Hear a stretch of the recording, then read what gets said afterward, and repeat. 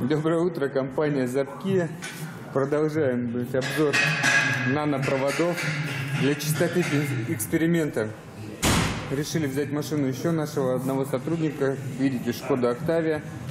а, 1.4 турбо. Поставили ему тоже эти провода, вот видите, нано, с нанотехнологией. А, для чистоты эксперимента теперь взяли пенсионера. Вот, он быстро не ездит, много не газует. Сейчас засечем расход. А, смотрите. Расход этой чудо-техники 6,2 на 100 километров. Я уж не знаю, куда меньше это, блядь. Зачем эти провода? Это получается, она вообще будет на воздухе ездить. Или, может быть, придется отливать с бака. Вот.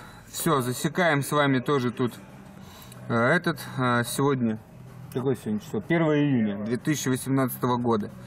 А, Произвели замер, установили нанопровода, посмеялись.